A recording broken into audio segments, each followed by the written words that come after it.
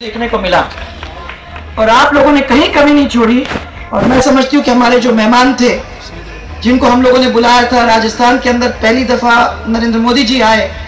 मैं समझती हूँ कि सबसे खुश होकर यहाँ गए, जब उन्होंने देखा कि व्यवस्था आप लोगों की क्या थी, जब उन्होंने देखा कि हमारे परिवार के लोग कैसे निकल के आए, जब उन्होंने देखा कि सबने बैज लगा के इंतज़ाम ही नहीं किया, परंतु दूर दूर से आए भी, बूथ के लोगों का रिप्रेजेंटेशन वहाँ हुआ।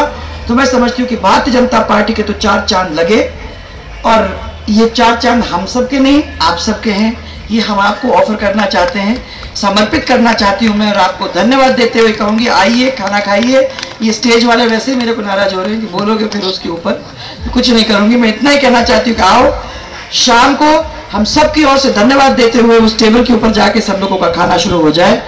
मैं माफ़ी चाहती हूँ, मेरे को वाकई में बहुत पीड़ा हो रही है। आप ऐसे ऐसा मत करो बार बार ये मत कह ये कहना है आओ साथ चले टेबल की ओर। भोजन करेंगे सब लोग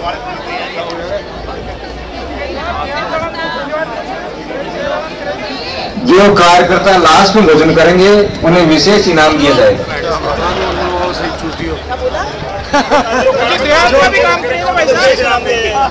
Madam madam madam madam please national highway के ऊपर सब कार्यकर्ताओं को चाहे वहाँ से रोकना करना देखे तो उन्होंने बहुत काम किया था।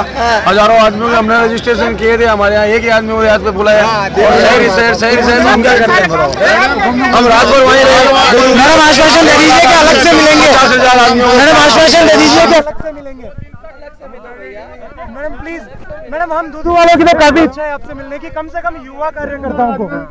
जयपुर आज जयपुर शहर का हम लोगों ने इसलिए किया जयपुर शहर वो जगह थी जहाँ पूरा का पूरा यात्रा नहीं तो मुझे सब दूर से बुलाना पड़ेगा भैया।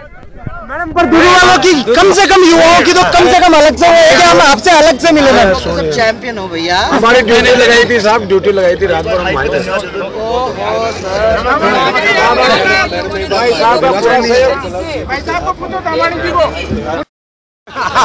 मैंने सिर्फ़ शहर का नाम है। लिया। शहर के लोगों ने तो किया ही किया। परंतु जयपुर देहात के लोगों ने जो कमाल किया, उसको कैसे हम भूल सकते हैं? आप मेरे को माफ़ करेंगे आप लोग सब चैंपियन लोग, ऐसा ऐसा काम आप लोगों ने किया। जयपुर शहर तो एक तरफ़ ही रह गया, जयपुर देहात ने तो कमाल ही कर दिया।